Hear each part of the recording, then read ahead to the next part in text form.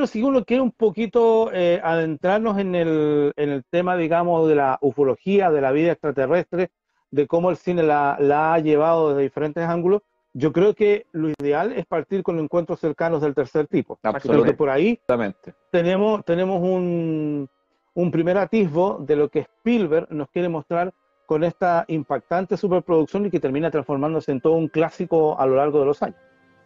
Sí, exacto. Este. Dale, dale, ya. Sí, película de finales del año 70. 1977. exactamente, 1977, con un gran Richard Dreyfuss en su mejor momento. Eh, espectacular actuación. También la, no, no recuerdo el nombre del actor del francés que hacía el científico. También muy buena su actuación. Eh, una película que está muy bien narrada, muy bien contada, eh, tiene una buena fotografía, buenos efectos visuales, para qué hablar de la música, eh, muy, buena, muy buenos decorados también, y una historia que te engancha, te apasiona desde el primer minuto, y desde el primer minuto cuando uno ve estos aviones que están ahí de la década del 40, que habían regresado después de tanto tiempo que estaban desaparecidos, ahí uno ya se va enganchando rápidamente.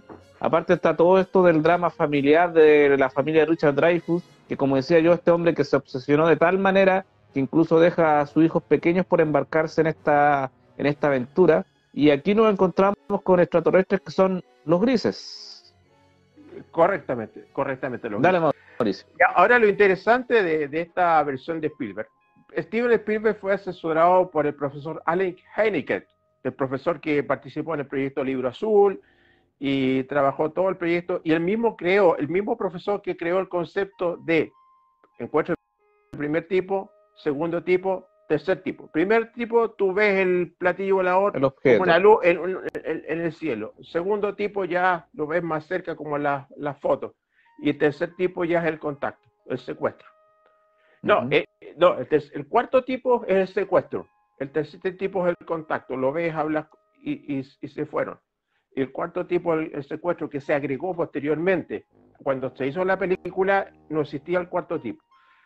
Ah, interesante también porque el francés que estaba buscando aquí la información claro. es un homenaje a un científico de ufológica eh, de ufólogo, eh, ufología francés que se llamaba eh, teníamos doctor Gene François, François, sí porque, ah, no, aquí está Jacques Ballet antiguo colaborador de doctor, Gen, de doctor científico del, proyecto de ufología en ese concepto. Y claro, y esta película, eh, Spielberg mete todo la parrilla, porque nos mete elementos del Triángulo de Bermuda, dándole una explicación ufológica más que una explicación misteriosa que lo que todavía se, se sigue especulando. Y, y, tomar los elementos, que, los efectos especiales que se lució en esa película, especialmente la llegada a la nave grande, y la obsesión eh, eh, por, la, por el dibujar donde el encuentro, que sería el encuentro que se queda grabado por un encuentro, las de luz, a, Dreyfus lo deja enfocado con la obsesión de que tenía que ir a ese contacto que iba a ocurrir en tal fecha. Y ahí los otros elementos, que es un, central, un centro de turismo, que tú puedes ir a ver la, la montaña del diablo, que es la forma esa que, que sale en la película, ¿ves? Suena claro, que claro. Drake. Y él, como lo había hecho en, en, arcilla, um, entonces ya tenía la, la, visión tridimensional que otros lo habían dibujado. El mismo niñito que no toma elementos de aducción, que es los secuestros de los extraterrestres, que después vuelve y se encuentra con la mamá cuando hacen el contacto. Cuando lo devuelven, claro. Claro.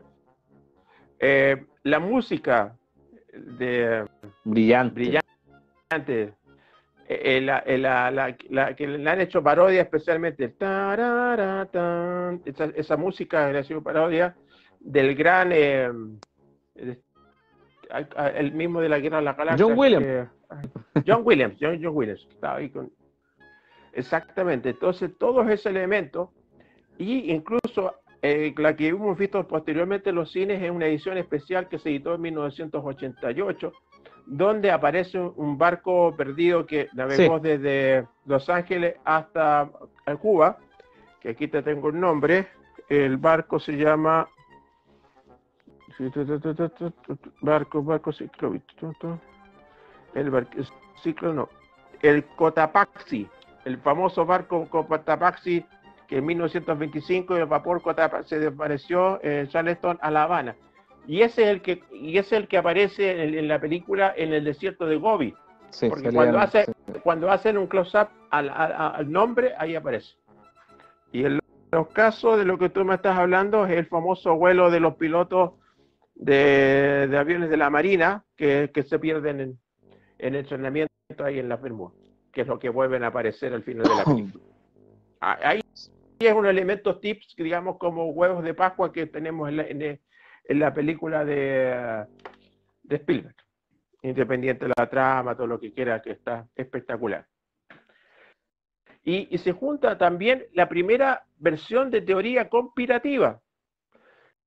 Claro, lo que después vimos en la serie Futuros, que los archivos X y todo el concepto del gobierno, claro, porque cuando ellos van a, la, a la montaña del diablo y tratan de tener acceso, los famosos helicópteros que bombardean gas y, anestesian a los animales para crear una falsa epidemia de una peste que estaba cerrado y no podían circular los autos por ese sector.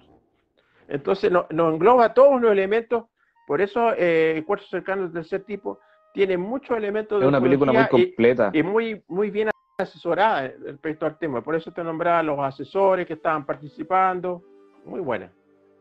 No, y aparte que tiene escenas memorables, como la escena cuando están comiendo y Richard Dreyfus empieza a hacer la montaña con el puré, con, con la comida, o, llega a tal su locura que empieza a sacar barro desde afuera del jardín y empieza a hacer como esta maqueta. Eh, eh, cuando tenían contacto con las naves extraterrestres se les colocaba un lado de color así quemadura. Eh, cuando tiene el primer contacto y está en su camioneta, encuentro genial ese efecto especial cuando se le van como que se levantan todos los objetos más livianos, también espectacular ese efecto para la época. Y encuentro yo que la película ha envejecido bastante bien. Eh, una de las películas de esa época que ha envejecido bastante bien, bueno, ha tenido bastante arreglo a, medida del tiempo, pero una película que, que, es brillante, una de las mejores películas de, Spielberg y, que tiene varios elementos buenos, como la música, las actuaciones, la dirección, la película en sí, el guion. Eh, es una de las buenas películas y yo diría que una de las mejores también que tratan de este tema, del tema de la ufología de extraterrestre, que te muestra también el tema el mundo militar, te muestra el tema de los civiles que están ahí metidos también en el tema, el tema con los científicos, eh, es una, una película bien completa sobre el tema. Claro, incluso todo, incluso todos los elementos que, aparecen en la película son todos elementos que tú, algunos elementos del libro azul, que el motor se paraba, que la luz te iluminaba, que aparecías que te habías quemado la cara o el, brazo, todos esos elementos que habían descrito los, los, testigos del fenómeno están incluidos en la película. Ahora, ¿cómo, ustedes creen que, mm, que esta, esta producción de Spielberg eh, toca este tema? Porque más allá de todo el, de todo el tema de la actuación, está tomando, digamos, un tema que es bastante cierto, desde un, desde un ángulo bastante diferente a lo que habíamos visto en anteriores producciones. Eh, ¿Les convence un poco este, esta, esta suerte de encuentro? ¿Ustedes creen que un encuentro con, con vida extraterrestre podría darse así o de otra forma? Es que hay muchas formas que se puede dar con el encuentro con vida extraterrestre. El concepto ahí, la gracia es que en 1977, que, que habíamos, acuérdate que estábamos en el cine de catástrofe, Spielberg se, se atreve a esto y después viene la guerra de las galaxias. Entonces, eh, todo, todo este efecto y hablar del fenómeno, porque también en ese año se hablaba poco, incluso acuérdate que había que habían pocas series respecto al tema. En ese, yo, yo diría que yo diría que es la primera película, una de las primeras películas que toma el tema de extraterrestres, lo enfoca como eh, un tema más científico, más serio y no tanto esto como ya que vienen los extraterrestres y destruyenlo todo y las peleas y todo el asunto. Yo encuentro que lo toma de una manera más, más realista, obviamente con toda la espectacularidad que, muestra el caso, porque obviamente es cine de entretención, eh, con esta nave gigante, con esta música y todo el asunto pero encuentro yo que una de las primeras películas que aborda el tema de, la, de los extraterrestres, de la ufología, de manera más, más seria. No sé qué, creen ustedes. No, efectivamente, más seria se, nota, incluso el, famoso Alien de tres metros que sale ahí, que, fue un gran logro manipularlo, manejarlo. Así que, bien. No, no, yo por eso, yo por eso les hacía, les hacía esta pregunta, porque para mí, sea, si uno ve todo lo que se hacía para atrás, yo encuentro toda la razón, Esteban, en lo que tú dices, porque hasta antes nos habíamos encontrado con, invasiones, con ataques, siempre se nos había mostrado, digamos, la parte extraterrestre desde otro ángulo. Acá se, toma desde un, ángulo mucho más serio, mm. mucho más científico.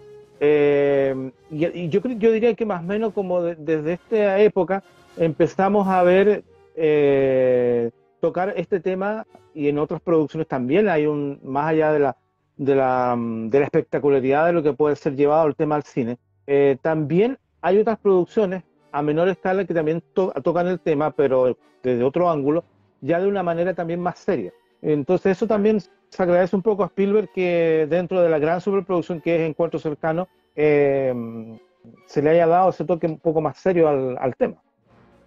Sí, absolutamente. Aparte que la película fue todo un boom cuando, cuando salió, eh, tuvo varias nominaciones al Oscar, eh, incluyendo mejor película, tengo entendido, si no me equivoco. Eh, obviamente que los premios técnicos también tuvo bastantes nominaciones, la película es espectacular, eh, la banda sonora también, hizo una gran recaudación. es una película de Columbia Pictures, si no me equivoco. Una de las productoras que poco ha trabajado con Spielberg, creo que fue la única película que hizo con Columbia, porque después se abocó a otros estudios cinematográficos como Universal, Warner. Bueno, y no, esta película, esta, Dale.